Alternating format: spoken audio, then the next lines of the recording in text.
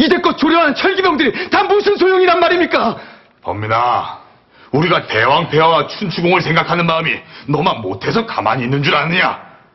왕병 없이는 옴짝달싹하지 못한다는 걸 너도 잘 알고 있지 않느냐? 비담이 대왕 폐하의 아령과 왕궁 출입을 금하였는데 왕명을 어찌 내리시겠습니까?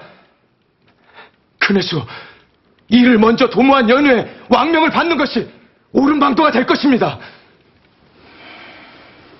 주군.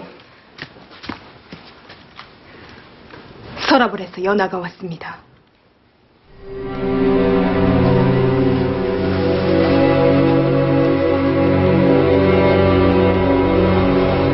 네가 여기까지 어찌 왔느냐?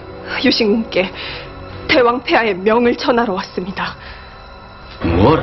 대왕 폐하께서 유신군께서 서라벌로 돌아와 폐하와 왕궁을 보위하라는 명을 내리셨습니다. 그게 정말이냐?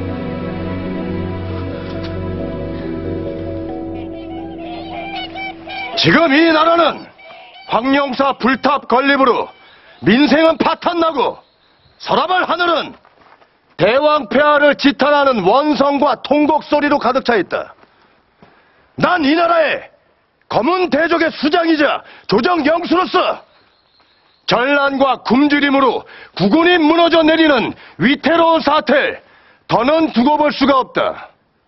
이에 난 화백회의를 열어 검은 대족의 뜻을 모아 병상에 누워 계신 대왕 폐하를 대신할 섭정을 추대하여 조정의 분열과 반목을 아우르고 이반된 민심을 수습하여 나라의 기강을 바로 세울 것이다.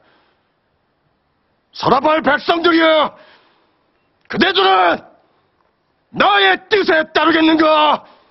비단공 말씀이 옳소! 상대된 뜻을 따르겠습니다! 백성들에게 쌀과 배를 나눠주거라. 예. 백성들에게 쌀과 배를 나눠주거라. 예. 웃으시오. 비단공 말씀!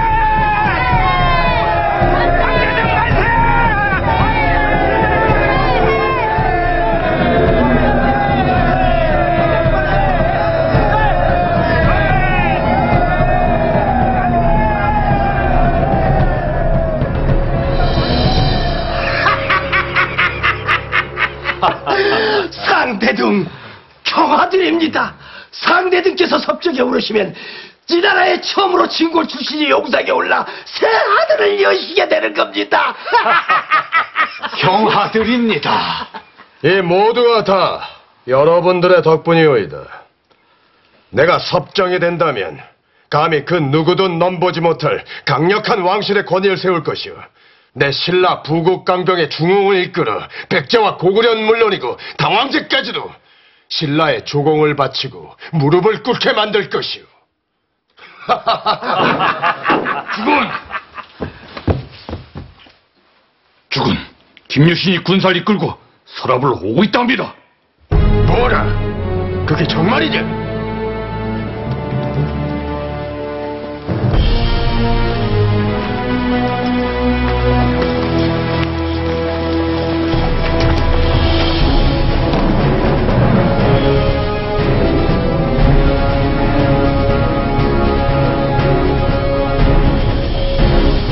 유신고, 어찌 내 경고를 무시하고 서라벌로 돌아오셨소? 왕명도 받들지 않고 군사를 돌리는 건 반역행위란 걸 잊으셨소?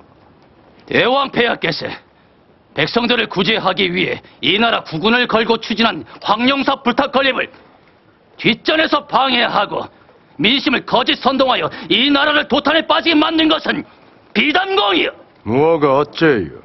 대왕께서 아량을 베푸시어 비담공을 상대등으로 명하시어 민심을 수습고자 했거늘 그대가 상대등의 지위를 내세워 화백회의로 섭정의 자리까지 노리고 있으니 그대가 충신이라면 내 기꺼이 반역도당의 수괴가 되는 것을 꺼리지 않을 것이요. 김유신 기대가 스스로 반역임을 자인했으니 지금 이 자리에서 죽어도 두 말 못할 것이다.